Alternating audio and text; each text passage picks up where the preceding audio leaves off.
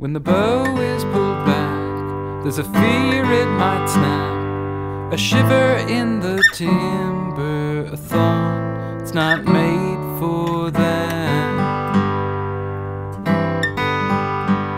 The cracking of joints at this most distant point says stop, take notice of your hands.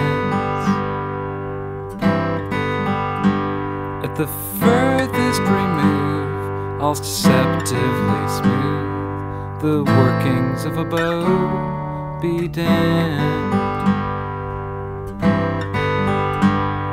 A shiver, what's it there for?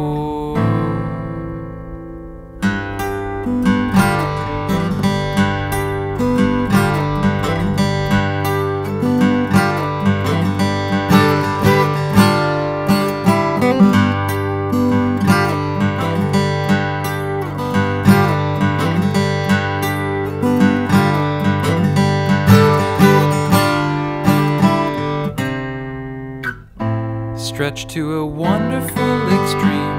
I felt a pleasure in me, slingshotted back. A shiver, what's it there for?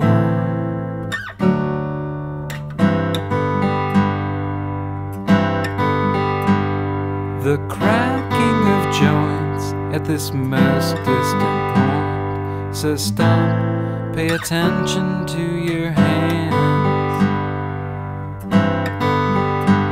At the furthest remove, really nothing is smooth. The logic of a magnet be damned. A shiver, I doubt I'm done